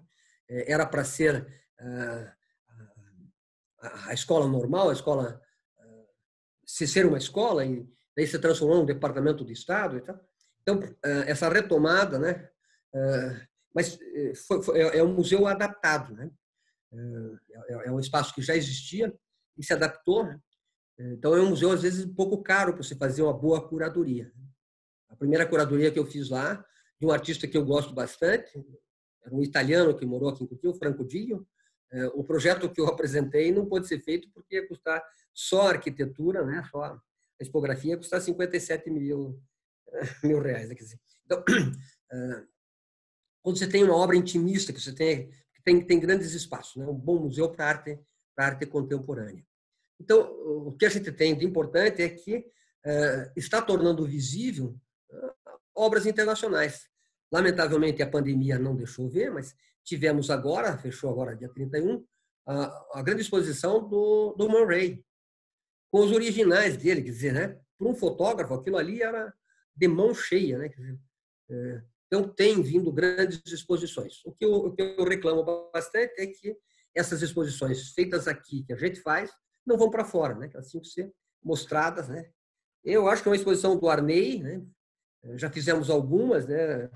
Eu fiz uma no MAC, eu acho que foi, foi uma exposição importante. A Eliane Proli que fez uma no, MON, mas foi pequenininha. Eu acho que tem, e tinha que levá-lo para o Brasil inteiro, né? para mostrar que esse cara, nos anos 60, está fazendo uma obra que internacionalmente só vão começar nos anos, nos anos 70. Então, uhum. Não que ele seja uh, uh, o arauto de uma coisa nova, mas que está pensando como se está pensando no mundo inteiro. Né? Que o Paraná não está separado do resto do mundo. Uhum. Né? Nossas obras estão sendo feitas né? É, ligados a tudo que está. Todos os problemas do mundo passam por nós também. Uhum, uhum. Agora, é, nesse sentido, eu queria te fazer uma, uma outra pergunta, Bini. Queria que você comentasse um pouco, já que você falou sobre isso, que eu acho que é essencial e é uma questão não só no Paraná, mas em vários estados do Brasil, mesmo em São Paulo no Rio, né? Muitos projetos são feitos para um museu e não circulam, não há uma rede de circulação e não há muitas vezes dinheiro para os projetos viajarem. Eu queria que você comentasse assim um pouco nessa sua, nessa sua trajetória de quatro décadas como curador, como que se dá ou como que se deu, né, essa sua rede de contatos com outros curadores de outras regiões do Brasil e como que se deu também, que oportunidades você teve que você lembra de fazer projetos curatoriais fora do Paraná, né? Assim, como é que foi esse esse circuito seu? Porque na sua geração, claro, há outros curadores de muito é, renome, né? Há, por exemplo, sei lá, Aline Figueiredo em Cuiabá, a gente tem, por exemplo, Araci, que é um pouco mais velha, em São Paulo, ou Tadeu Chiarelli, que acho que é um pouquinho mais jovem que você, ou Marcos Lontra, no Rio de Janeiro, ou, por exemplo, é, enfim, vão, vão, me faltar nomes agora. Mônica Zelinski, né, em Porto Alegre, também trabalhou com curadoria. Marília Panitz, em Brasília. Então, enfim, como é que se deu essa sua, esse seu tráfego, digamos assim? Veja, primeiro pela Associação Brasileira de Críticos de Arte, né? Eu acho que a, a associação é um, é um, ponto importantíssimo, né? É, que nos faz se interligar né? nos congressos ou uh, nas reuniões, né? mesmo as reuniões que são regionais, é, vem, vem pessoas de fora. Então, a, a Lisbeth, né? No, no, período que ela, ela dirigiu a associação, foi, foi muito importante porque ela promovia essas reuniões né? do Brasil inteiro. É, como professora da PUC, ela tinha alguma verba disponível, facilitava a, a, nossa ida, né? ajudava a pagar algumas despesas. Então, aí foi né, o, a, possibilidade de, de, de, encontro e de troca de informação. É, agora, a minha participação ficou mais em, em termos de, de discurso, né? de apresentar experiências curatoriais. Né? Apresentei isso em Brasília, apresentei isso no Rio, na Bahia, mas é, curadoria mesmo fora que eu tenha pego inteira, né, foi Joinville. Né? Tem ah, aquele, aquele Instituto Internacional Juarez Machado, e o Juarez tem um papel importante aqui no Paraná, né? mas ele é de Joinville e, e tem a intenção de deixar o acervo dele para Joinville. Criou este museu, é, e esse museu também tem um espaço de exposições. E, então, algumas exposições dele uma deles que foi que foi que foi importante, ele queria fazer uma homenagem aos amigos de Curitiba, né? Porque quando ele resolveu ser artista, ele veio estudar na Escola de Belas Artes do Paraná e aqui então vai ser muito bem recebido por um grupo de artistas e me deu autonomia para que eu ele só citou alguns nomes que eram importantes para ele, eu então fiz fiz essa essa, essa curadoria. Então, alguma coisa assim, Joinville, Florianópolis eu ajudei mas há, há, muito tempo, como é que era o nome do professor Omar? Esqueci o sobrenome dele. Com ele eu fiz alguma coisa, mas é, normalmente eu estou dando aula, fico preso. Né? Um trabalho interessante, mas que eu, eu, perdi muito porque tinha que voltar correndo para dar aula, foi, foi um evento uh, que nós chamamos de Faxinal do Céu. Desculpa, Faxinal das Artes na cidade de Faxinal do Céu, no interior do estado do Paraná, perto de Garapuava. Né? E, e, lá foi feita uma residência de artistas. Né? A, a, curadoria principal foi do Agnaldo Farias, e eu fiz a, a fui assessor dele para pensar o, o, o Paraná. Né? Claro que a gente discutiu bastante né? para ver o que, o que, quem ia lá, o que, que ia, né? Qual, qual era a ideia central. Foi, foi, foi uma experiência muito, muito interessante. E, e, com essa história de dar aulas, né? Eu tinha que voltar correndo, ia lá no fim de semana, voltava, não pude ficar as duas semanas junto com todo o pessoal. Eu perdi muito da, né, da, da relação né, de coisas eh, espetaculares que aconteceram. Eu acho que a, esse faxinal das artes tinha que ser repensado, né, não poderia ter acabado, mas é, ele foi no, no, final do governo do Jaime Lerner, que tinha feito, não tinha feito assim tanta coisa pela arte do Paraná, resolveu fazer dois, né, dois eventos importantes, que foi a criação do MON e é, esse evento, que inicialmente a ideia era que esses artistas né, lá reunidos produzissem uma obra. Como é que você vai produzir uma obra em 15 dias? Até que você se adapta ao local, né, é, que esses artistas lá reunidos é, produzissem. Eles queriam colocar 300 artistas lá dentro. Né?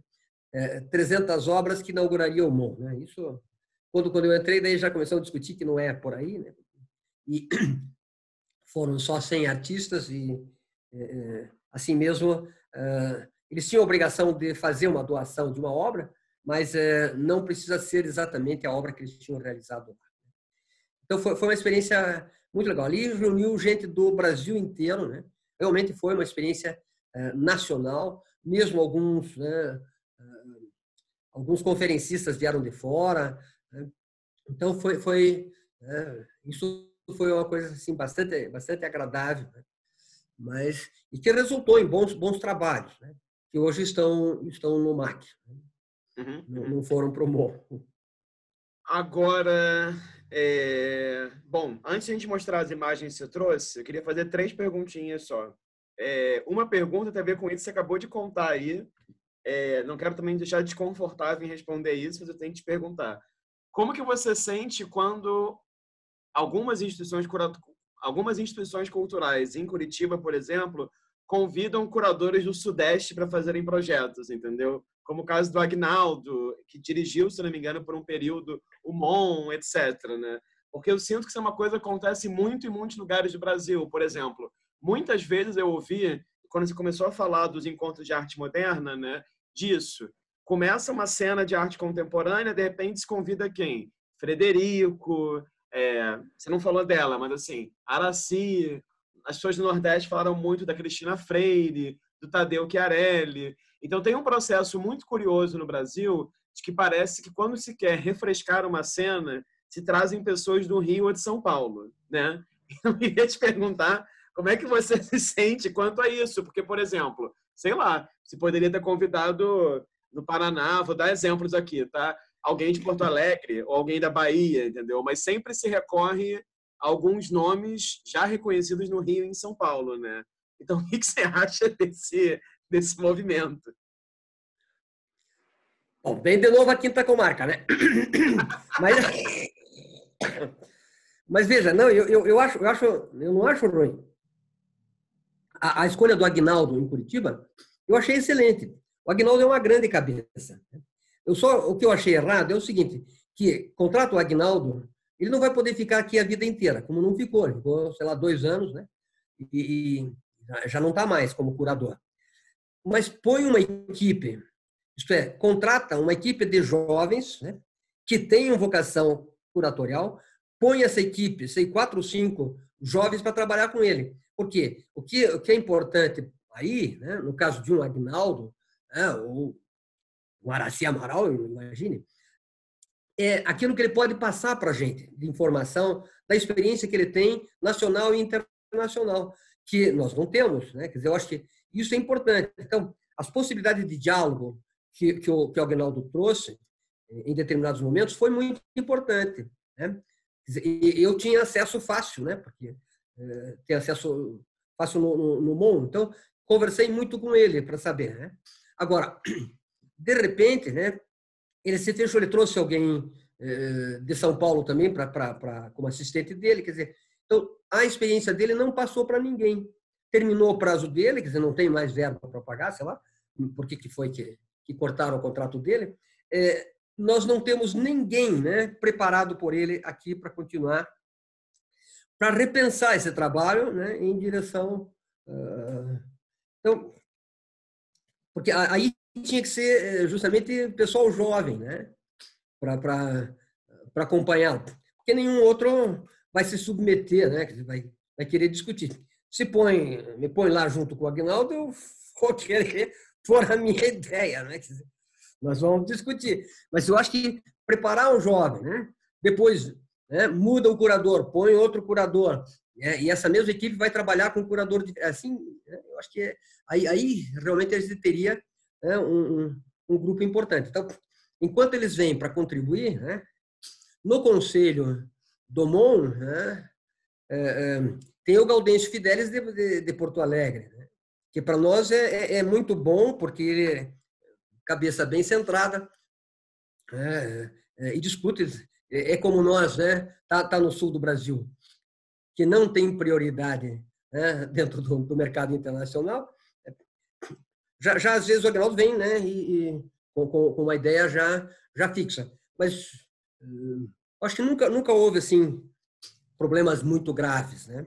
Uhum. É, sempre houve discussão. Eu acho que isso é importante. A minha crítica, né, aos museus do Paraná é que eles não fazem o outro lado, né? Quer dizer, de levar as coisas daqui, de nos indicar para curadorias fora. Né? Por que, que a gente não pode sair daqui também? Né? Dizer, será que a gente não sabe nada de arte brasileira?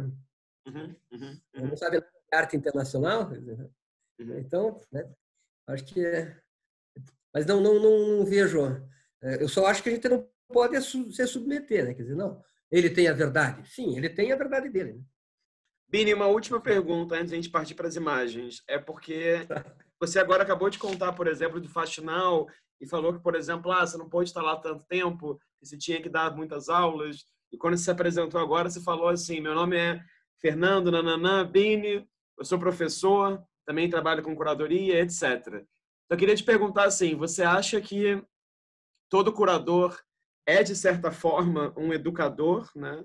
E qual que é o lugar da educação na sua atividade diária, né? Porque eu acho muito bonito esse esse prazer que você tem em ser professor? Bom, eu me considero professor. Agora, eu acho que um artista é um educador. Ele tem um papel político imenso dentro da educação, né? porque ele levanta questões né?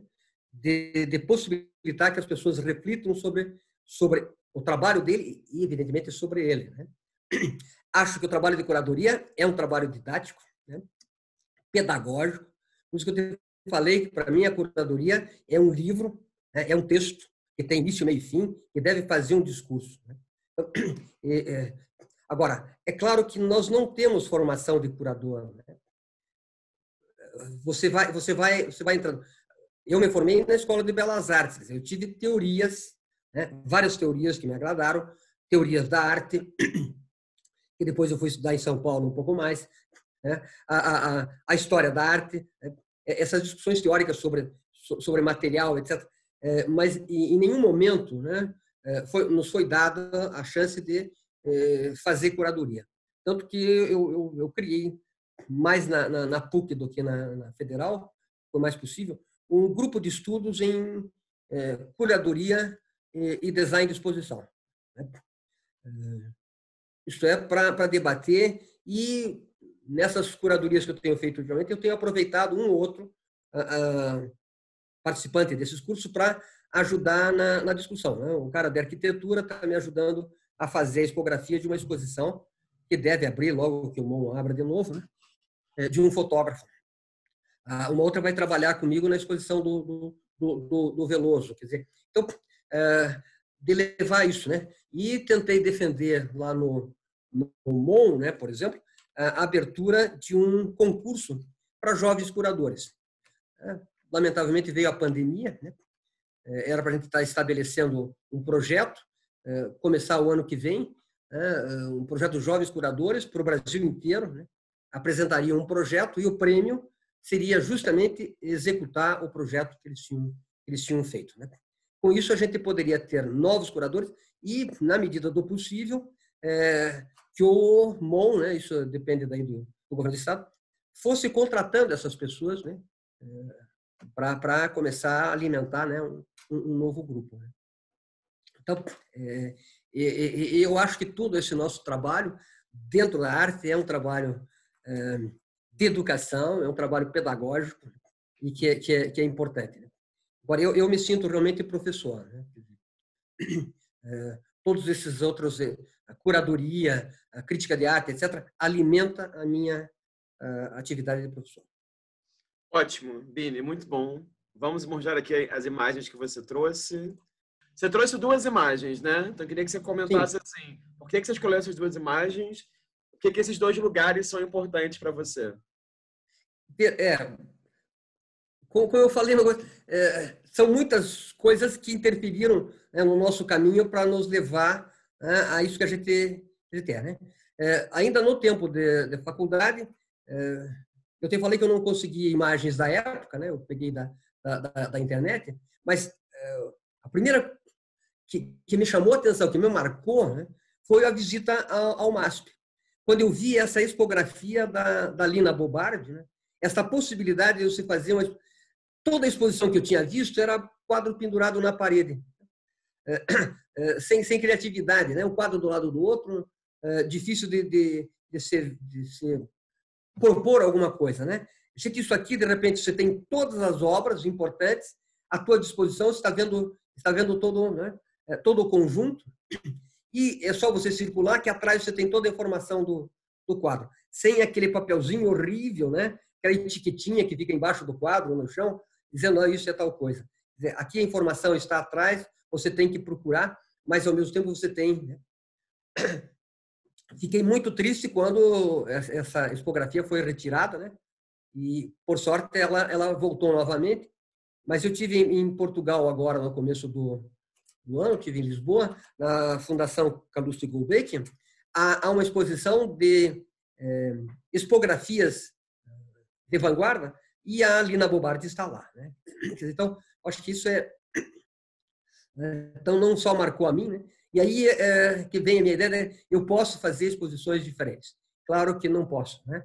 porque daí depende do, da possibilidade do, do, do museu né? É, criar. Mas, em todo caso, é, há, há, uma liberdade, há uma criatividade. Acho que é aí que me deu a ideia né, de começar a querer é, fazer curadorias de exposição, etc. Uhum. E a outra imagem que você trouxe? Claro, é também uma imagem que, que não é não corresponde à, à realidade, é de hoje, né? É, que é o Museu de Arte Contemporânea do Paraná. É, quer dizer, outro marco importante, que também foi, é, eu estava recém-formado, né? o museu foi fundado em 1970, é, e que é, o, o, o, fundador do museu, que foi o, o, esse pintor Fernando Veloso, é, influenciado evidentemente por outros museus, ele fazia parte da Associação Brasileira dos Museus de Arte, é, estava vendo o museu dentro de uma ideia completamente nova, é, um local de pesquisa, é, com ação educativa, etc. Um departamento de pesquisa muito bom, com bibliotecas e tudo mais. Mas né, eu acho que o que o Fernando Veloso fez com a gente, recém-formado, é que ele criou o museu você sabe, nessa época eu ainda, eu ainda pintava, participava de exposições, etc.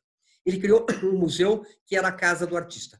Isto é, não havia restrição para você entrar, ir até a sala do diretor, conversar com o pessoal, tudo era, era disponível. Né?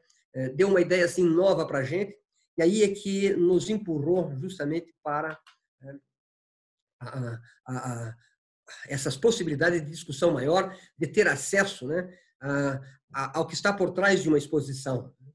É, esses dois fatos, né? ter visto primeiro o MASP, né? É, esse espaço aberto, luminoso, né? essa possibilidade de ser que não era uma exposição pesada, e o segundo, ter uma casa onde eu podia fazer né, aquilo que eu estava pensando, discutir, etc. Havia muitas discussões, havia um pequeno auditório. A primeira sede da, do, do, museu foi na rua 24 de maio, num prédio antigo, etc. Lá que aconteceram né, os primeiros encontros de arte, de arte moderna. É, então, já um espaço aberto, um espaço de discussão. Né, é, eu acho que, que a gente deve isso ao, ao, Veloso. Hoje eu vejo, né, o museu tem que ter né, uma porta é, para controlar a entrada de metal, porque senão pode entrar armado. É, é, fechou muito, né? O museu é um local estranho para a gente. Eu não sei como é que você se sente, né? É impressionante porque eu me sinto melhor, às vezes, é, no Centro Jorge Pompidou, né? porque tenho lá uma carteirinha há mais de 10 anos, que eu, que eu circulo lá, é, vou conversar com tudo, do que, às vezes, nos museus aqui nossos. Né? Então, se chegar no diretor, é difícil. Né? Então, a, a, a questão de que o museu tem que ser a casa do artista, o local onde o artista se sente bem, é, que ele pode pesquisar, que ele pode mostrar o seu trabalho, é, é um local local aberto. Por isso, esses dois uh, objetos, né, o MASP e o MAC Paraná, uh, foram dois marcos importantes da minha vida, né, que estão justamente nesse, nesse, nesse, nesse meu caminho, né, que vão interferir nessas minhas decisões de, de repente, começar a fazer crítica de arte, curadoria, né, junto com o magistério. Ótimo, Bini, muito bom, muito bom. E muito bom você ter escolhido duas instituições, assim, acho que ninguém fez isso ainda das imagens todas, então foi muito legal. Antes da gente terminar, é, eu, a gente vai agora para nossa pergunta surpresa, tá? Então, como é que tá funciona? A cada sete pessoas que eu pergunto, eu troco a questão. E você está sendo o número 49. Então, você está sendo, assim, Opa. o último bloco, digamos assim, a última pessoa que eu perguntarei isso. É, é uma pergunta simples e acho que você, que você vai gostar dela também. A questão é, eu queria que você me dissesse um verbo que você acha que vai de encontro às suas, é, aos seus interesses né, no fazer e pensar curadoria. Um verbo só. Ver. Ver. Por que ver? Explica aí. Claro, mim. porque o que você tem que fazer em arte é ensinar a ver. Sapere vedere, está lá no Leonardo da Vinci. Né? Então, quando você faz uma curadoria, né, o que você tem que chamar atenção é que as obras sejam visíveis, isto é, que, que entendam aquilo que você quis colocar como mensagem. Toda exposição tem uma história, né, tem, tem uma construção, né, e, e, ela conta alguma coisa. Né, ela vai te levar a refletir sobre alguma coisa. Isso tem que ficar claro na exposição. Se ela não fica claro na relação das obras, você tem que fazer um texto que leve, leve a isso. Mas sempre a grande preocupação nossa? Se fosse literatura, eu diria que tenho que fazer ouvir, né? literatura ou música, tenho que saber ouvir, mas na, nas artes visuais, no cinema, você tem que fazer saber ver. Né? Essa questão do ver é uma das coisas para mim mais importantes. Toda a pedagogia que eu aplico né, é de tentar fazer as pessoas verem e despertar nelas a curiosidade para ver muito mais. Né? Não ficar parado, porque senão eu acho que é, é, é esse o desenvolvimento, né? Quer dizer, é isso que eu, que eu tento fazer. Né? É fazer, fazer as pessoas verem. Ótimo. Bini, te agradeço um monte pela entrevista, pelo tempo, pela disponibilidade. Queria te dizer também que eu não conhecia tão bem o seu trabalho até começar esse projeto e foi muito bom conhecer e foi muito bom aprender contigo e foi muito bom aprender também por tabela sobre a arte contemporânea e a arte moderna no Paraná.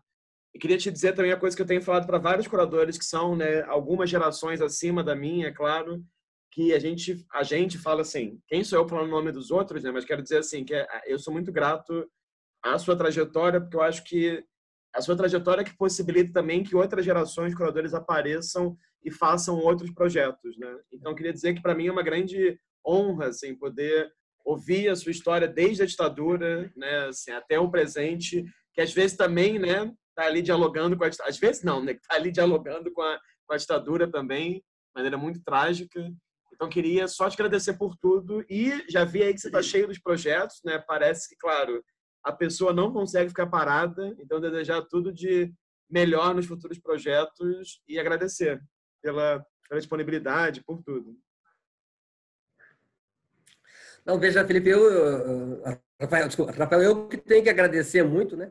Essa possibilidade de, do, do, do bate-papo e também não esquecer da, da, da, Fabrícia, né? Porque fiquei muito sensibilizado que ela... É, eu realmente sempre gostei de conversar com ela, prestei atenção sempre quando ela fala, é, mas tive assim pouco contato, né? É, e para ela é, me indicar, eu achei que é, Fiquei, fiquei sensibilizado. E, mas agradeço muitíssimo né, o, o, é, essa oportunidade que você dá de, de, a gente falar um pouquinho é, de que o Estado do Paraná ele está vivo, né? ele está produzindo, ele tem, ele tem bastante coisa, né? A gente agradece aqui quem assistiu esse vídeo até o final. Essa foi uma entrevista muito bacana com o Fernando Bini, curador, que vive em Curitiba, no Paraná. Então, fica o convite vocês verem outras entrevistas no canal, aqui no YouTube, basta clicar. Nesse momento devem ter dezenas de entrevistas disponíveis já. E a gente agradece muito sua presença virtual e até uma próxima conversa aqui mesmo. Obrigado.